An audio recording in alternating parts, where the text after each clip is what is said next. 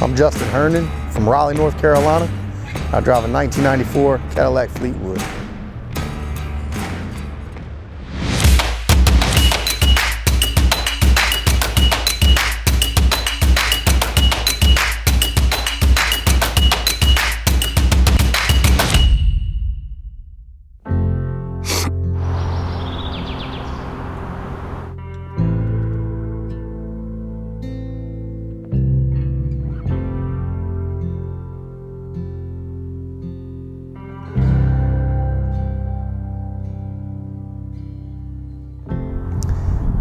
Kita is uh, he's a he's a big deal in the low riding world.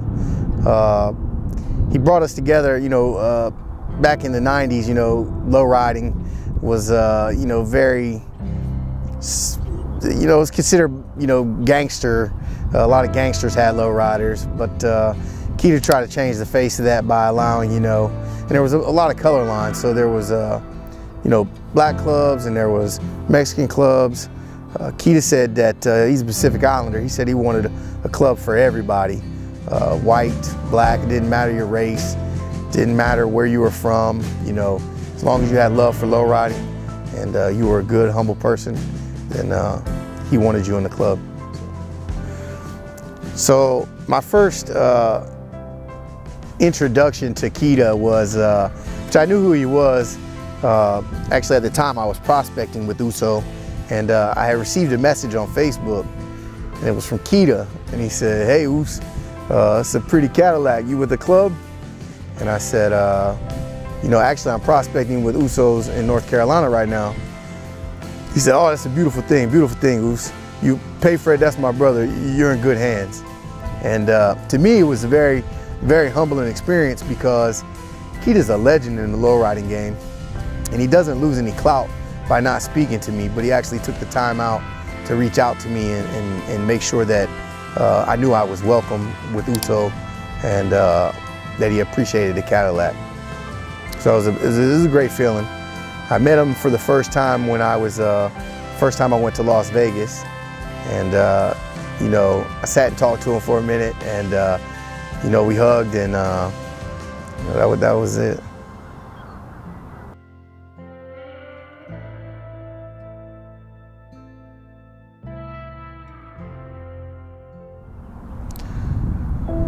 So we can see a great impact uh, with the loss of Kita um, through the low riding community. A bunch of people are really coming together. Um, we put a black band across our plaque to honor uh, a fallen member. Uh, generally, it's just for that club, but with Kita's passing, many other many other clubs have stepped up and put the black band across their plaque to show support for Kita, which is a really big thing, and it shows the impact that he's had on the low-riding community. So I definitely want to send uh, my condolences to the Lealao family. Uh, I'm glad you um, shared Kita with uh, the world and uh, was able to, um, you know, let his light shine throughout the low-riding community.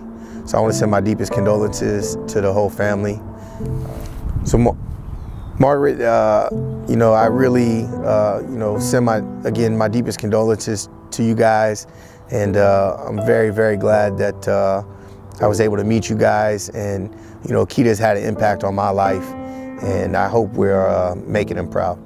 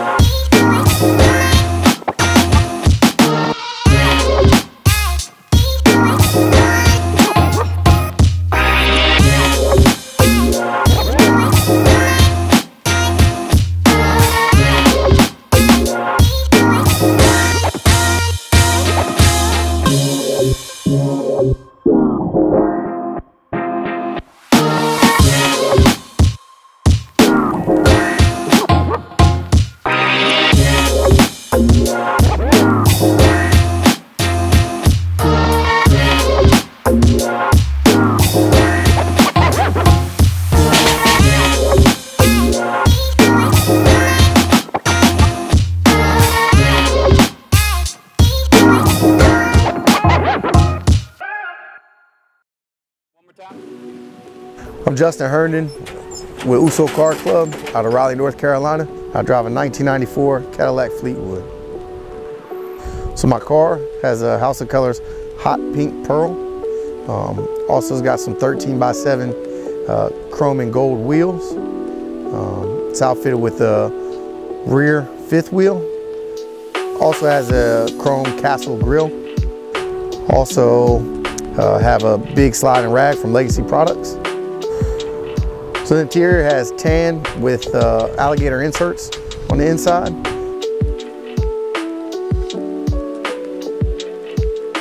I have uh, Rockford Fosgate speakers and kick panels in all the doors, five and a half in the front and six by nines in the rear. Also in the rear deck lid, there's two 12 inch JL audios. Also have the amps, Rockford Fosgate amps in the floorboards in the rear. So in the trunk is uh, hijacker setup, uh, two pump, six battery, painted matching batteries with uh, hydro dip, $100 bills, money patterns on the tie downs. Um, it's also got a fifth, fifth wheel in there, a spare tire. Also got mirrors in the deck lid as well.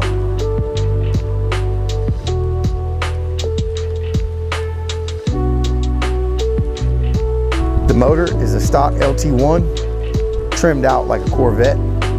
It's got some paint and some chrome in there as well. And when I drive the car, it's absolutely crazy, man. Uh, definitely mess up traffic, man. People turning their heads, you know, giving you thumbs up, waving, you know, all, all kinds of stuff, man. The people absolutely love the car. It's, uh, it's a great feeling to drive a car like that. It just, it really catches people's eye. So it's really cool. So you know, lowriders, we typically name our cars. Um, you know, so when I got the car, I started thinking of, uh, you know, I was trying to think of all these pink cartoon characters so I can name my car. You know, and you know, nothing really was sticking out to me. So one day I was standing in the garage with my daughter and she asked if we could go for a ride in the car and it was actually raining at the time. And I said, look, if it's, if it's not raining tomorrow, we can go for a ride. And she never says this, but that day she said it. She said Pinky Promise. And from then, I just knew that would be the name for the car, so it stuck with it, and uh, that's why I named the car.